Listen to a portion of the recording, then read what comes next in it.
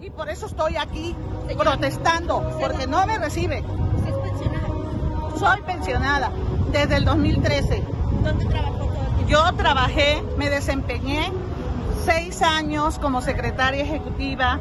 De allí, trabajando, saqué mi carrera, estudié sociología en la Universidad Veracruzana, este, tomé terapias y ya estoy, ya estuve en cama año y medio.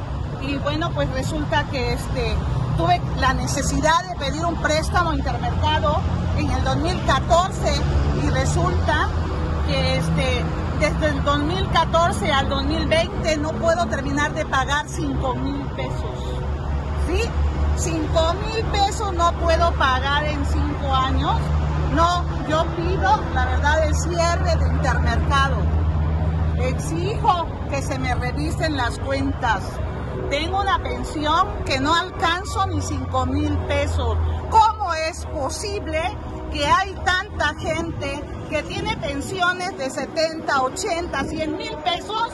Que es una vergüenza y que otros estemos muriéndonos de hambre, de necesidad, ¿sí? Porque no nos alcanza ni para calzones, ni para medicinas, ni para nada. De la directora del IPE, debido a que tengo derecho a audiencia por ley, se me debe de dar audiencia.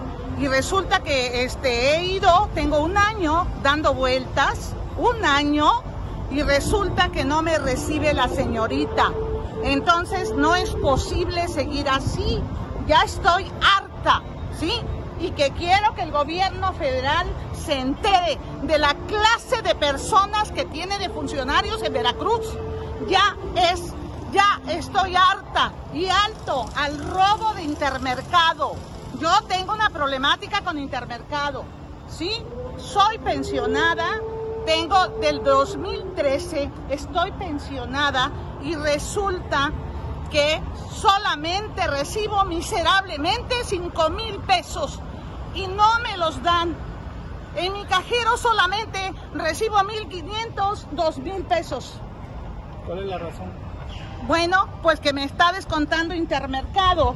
Intermercado me está descontando más de 3 mil pesos. ¿De cuánto es el monto de internet? Sí, Intermercado, me de- yo pedí un préstamo cuando me enfermé porque soy pensionada por enfermedad. Me pensioné en el 2013.